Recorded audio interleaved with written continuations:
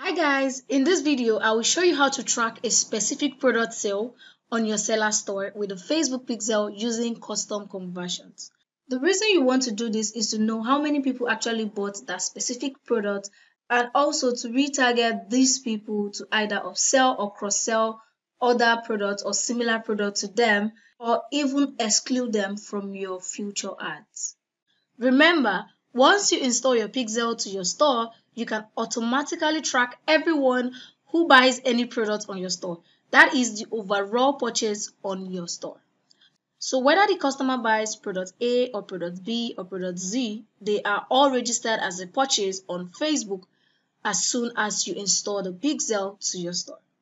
I created a very detailed video showing you how to create and install the Facebook pixel and test for these standard events on your store. You can check that out if you're unsure on how to go about creating and installing the Facebook pixel to your Selar store. So now, the question is, what if I am running an ad to a specific product? How can I track purchases for that specific product and not the overall purchases on my Selar store? Well, how you do that is to create a custom conversion event. And with Facebook, you can create up to 100 custom conversions. That is, you can track up to 100 specific product sales. If you reach the 100 mark, you can delete the product you are no longer tracking to create new custom conversion events. To get started with this, you want to visit your product edit page. That is, edit the specific product you want to track sales for. So I'm going to go to the specific product I want to track sales for. And right here on my Selar store I have two products. That's this test product and add new product. So I don't want Facebook to register anybody that buys either of this product right? So I want to track this specific product this add new product right? So what I want to do is to come here and edit this product. So once you edit the product you want to scroll down to where you have advanced options right so this is where you're going to see your unique product code. You get unique product code for this product is VNWD, right? In order for you to get this um, unique product code, right, you need to first of all create your product first, right? So during the process of creating your product, you might not see this code.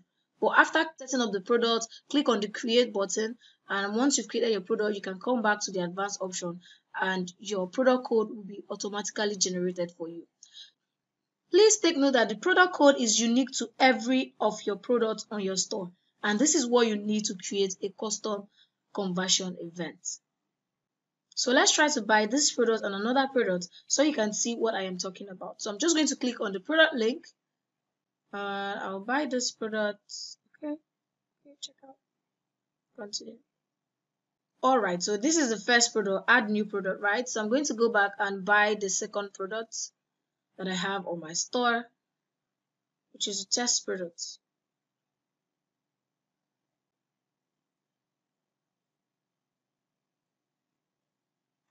Okay, so this is the first product which says add new product and this is the second product which I call the test product, right? Now if you look at the URL of this product, right, you see selar.co slash receipts. The number in the URL is the order receipt reference, which is unique to each customer. This is, however, not of importance for what we are trying to do. Unique product code for this specific product, right? And then if I check this other product here, you will see that the unique product code is actually different from this one. So selar.co slash receipt, the unique product code UR8Y, while the unique product code for this one is VNWD, right? So with this product code, you'll be able to actually create a custom conversion event where you can track the sales for only this product. So instead of using the general standard event you have on Selar, which tracks all of your purchases on your store, right?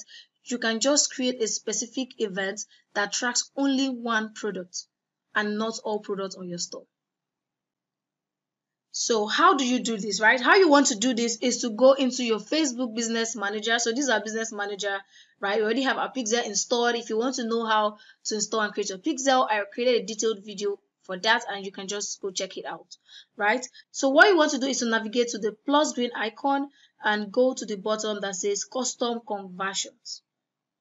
Before you come here you want to make sure that you have selected the correct advertising account right? And how to do that is go to business.facebook.com select the right advertising account that has the pixel and then go to event manager. And from event manager all you just have to do is to come to this green plus icon and navigate to the custom conversions. So now what you have to do is click on create custom conversion.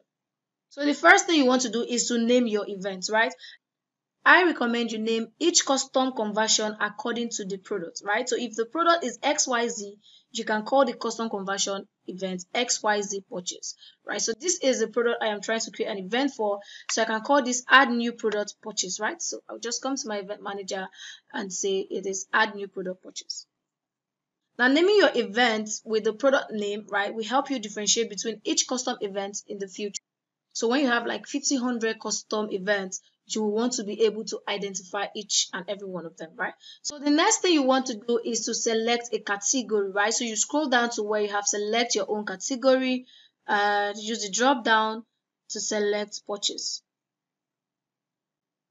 Then proceed to the next step, which is the most critical step and it is very very very very important this is where you will put in the trigger url that would inform facebook how to tell that you sold this specific product. And how you do that is to select URL contains, make sure you have, so this is the rule. So you're telling Facebook this custom conversion must meet all of these rules, right? So you want to make sure you select URL contains and not URL equals, right? I want to do, you want to put in the URL keyword. You will notice that on every of Selar purchase page, the URL is always selar.co slash receipt slash this um, numbers, which is actually specific to the buyer, right? And then the code of that product, right? So if you see this selar.co slash receipt slash this number, then the product code, the unique product code. Then if you also see this product as well, we have selar.co slash receipt, then the unique product code, right? So what we need to create the custom conversion is we want to tell Facebook that we want to track people that actually gets to the thank you page. And anyone that gets to Selar thank you page must get to this page that says receipt, right? So what we're going to do is URL must contain receipt slash. Telling Facebook anybody that gets to a page that has receipt slash on the URL, Facebook should count that person as a purchase. But that is not enough because you want to track the specific product, not just anybody that gets to receive slash because all of Selar's thank you page has the receive slash on them, right? So what you want to do is to add another rule. And this time around, you want to copy the specific product code. So this is specific product code that we are tracking, right? So we'll come here, copy this and go into Event Manager and tell Facebook Oh, do not just record everybody that visits a page on Selar that has receipt in the URL, but that URL must also contain this code. So if this code is not on that URL, please do not record that person as a purchase for this particular ad that I'm about to run, right? So once you do this, you can go ahead and add a value, a conversion value Basically, the conversion value is how much your customer is worth to your business. So it could be the amount of your products or the um, average amount of your store product, right? So um, if you don't want to do that, you can just leave that option and click on create. Then you click on done so now that I've created this custom conversion, it's actually inactive. And for it to be active, we have to visit this page, right? But now that I've set this up and I'm running an ad, right?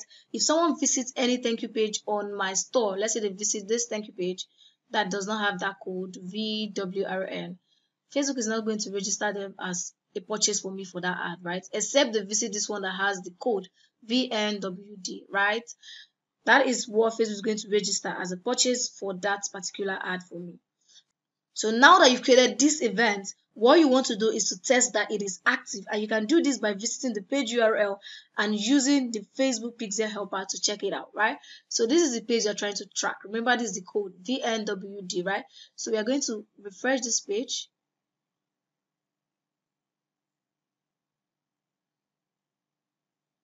So now that I've refreshed this page, you can see our pixel is active. Click on that and you're going to see the name of the custom conversion add new products purchase. So that means we have successfully installed a custom conversion on this page.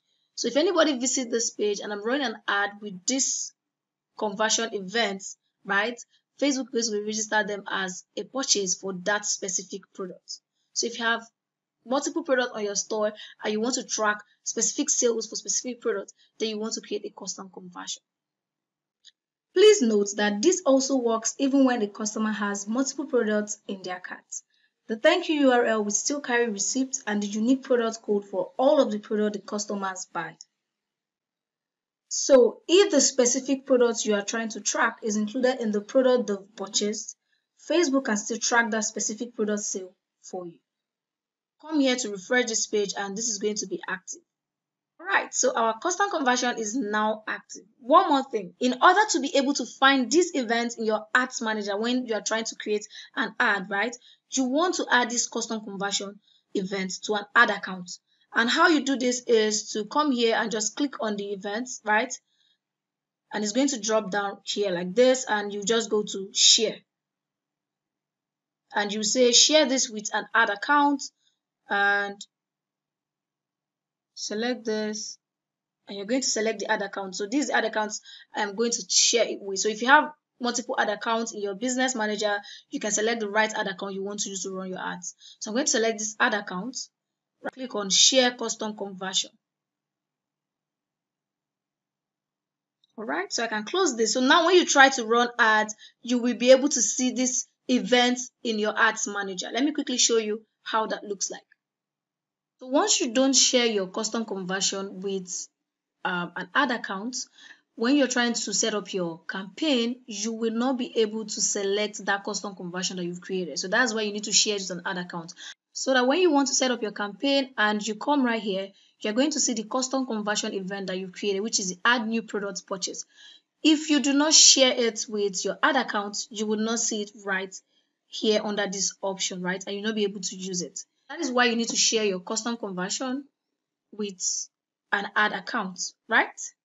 So now the question you may have is when do I use this custom conversion event or the normal standard event already created for my store by Selar once I install the pixel? If you're running ads to your Selar store to sell any of your products, you do not have to bother about creating custom conversion events. Just install the pixel to your store test that it is working, assign it to an ad account, and you are good to go. So whether a person buys product A or product B or product Z from your store, it doesn't really matter as your ad is directing people to your Selar store. That means your ad is actually sending people to selar.co slash me slash your username, right? So it is okay to just use what you already have set up for you on Selar.